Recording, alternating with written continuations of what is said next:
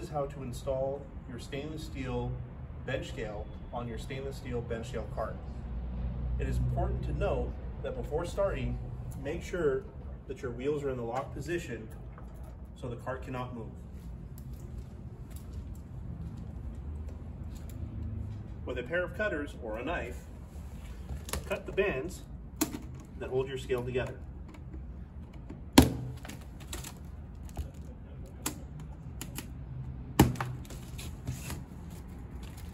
You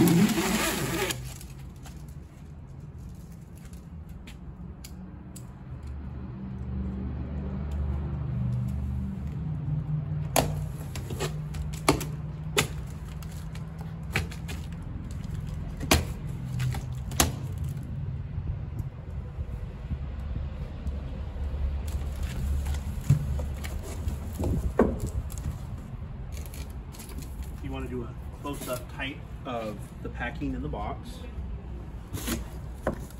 Please note that our, our stainless steel scales are packed in styrofoam, our column, the bracket, the hardware to mount the indicator, and any additional hardware. For this process, we will be utilizing the Allen key and not using this foot.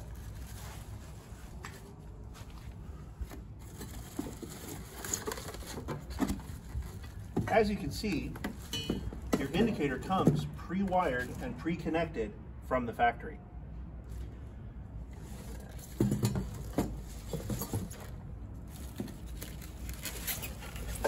Lift the column from this styrofoam packing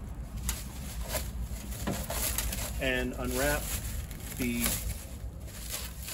plastic shrink wrap to prevent from scratch.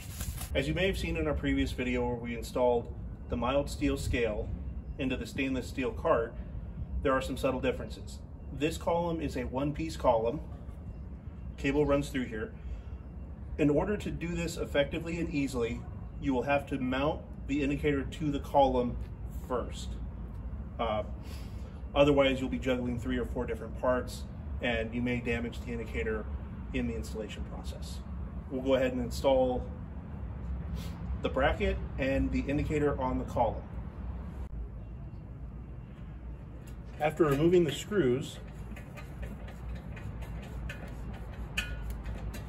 mount the column with the bracket as such.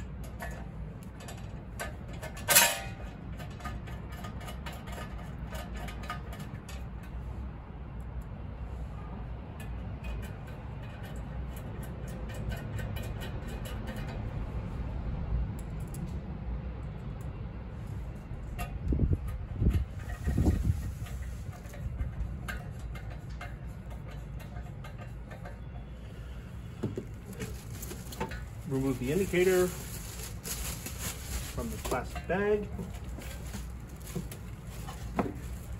And now locate the mounting brackets or the mounting knobs.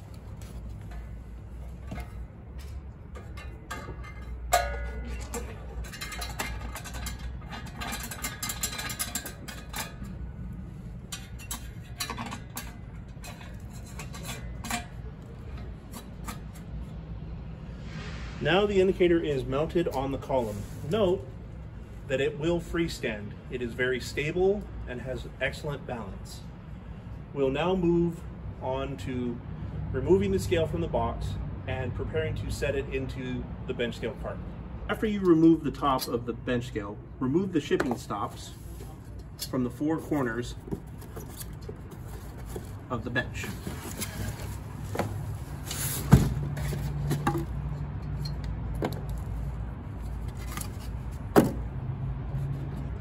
These are the screws that we're going to use to mount the column to the bench scale cart. Go ahead and remove those now.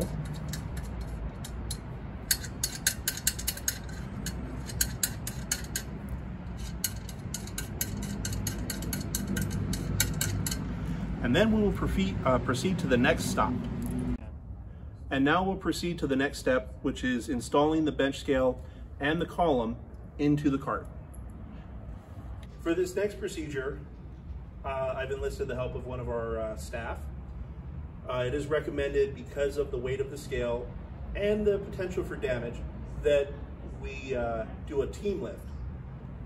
I'll lift the uh, indicator in the column and show you the procedure and uh, Daniel will take care of the scale so we don't damage our home run cable or cord from the load cell and he'll be placing the scale into the frame. Pick the column up, drop the column through the center of the scale, tilt, rotate, make sure your cable, go ahead and load the scale in place. And without bolting or unbolting the scale, we now have the indicator ready to mount with our provided mounting brackets here. Using the provided screws we removed earlier and the provided Allen key, we will go ahead and mount our column onto the bench scale cart. Again, we are going to utilize a team lift. I'm gonna have Daniel go ahead and hold our bracket in place and I will start to mount first finger tight.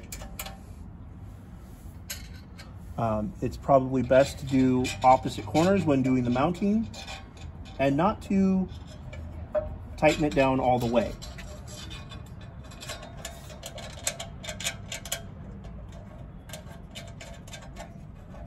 Once you have two screws started, go ahead and let it loose a little bit.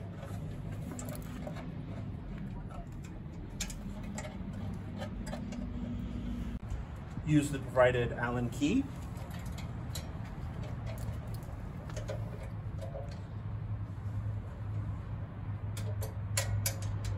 And again, do a cross pattern to ensure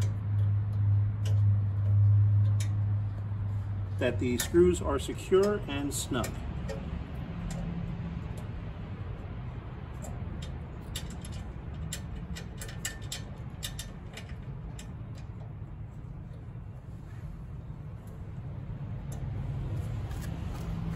Now that you have the column and the scale in place, let's go ahead and take care of this cable. Uh, as you can see, it's a little bit excessive, but easy to manage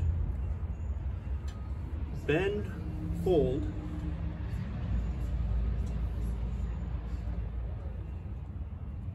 and in this case we're going to go ahead and use a simple twist tie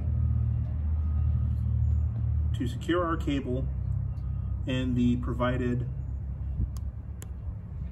hole here in the back. Uh, you can use a zip tie. Uh, we'll go ahead and put our rubber mat back in place. put the standard stainless steel bench top or the optional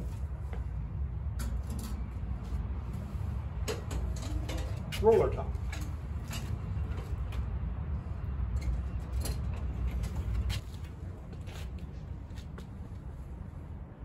I hope this video has been helpful and informative. And uh, if you have any questions, please do feel free to reach out